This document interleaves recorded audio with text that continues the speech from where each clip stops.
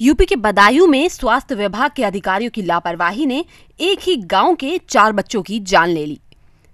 Sahaswan CHC के गाँव कुवरी में 20 दिनों से डिप्थीरिया नाम की बीमारी ने आतंक मचाया हुआ है, जिसके चलते चार बच्चों की मौत हो गई है। लेकिन अभी तक इस गाँव की कोई भी अधिकारी सुध लेने नहीं पहुँचा। सात दिन में इतनी बड़ी बीमारी बन गई कलो सूजो। फिर मैंने सब अस्पतालों में दिखा ली मेरे बच्चा ना बचो। और मौत है गई बाकी मेरे गाँव में चार है गई ऐसी मौत। मेरे गाँव में 20 दिन में चार बच्चों की मृत्यु हो चुकी अभी तक कोई भी अधिकारी नहीं आया। संगने में रात में पता चला था मैं कुमरी गाँव हमारी टीम गई थी एबडोस गए हैं यहाँ ज़िले से तो वहाँ कुमरी में ऐसा कुछ नहीं निकला। तो वहाँ बताया कि सरेरा गाँव है। तो वहाँ टीम अभी पहुँच रही है पंद्रह बीस मिनट। वो देख के आती अगर वास्तव में डेथ हुई है डिप्थीरिया से तो देख के आते कल फिर डब्ल्यू एच से कह के उसकी जो सैंपलिंग कराएँगे हम वहाँ दवाई भिजवाएँगे।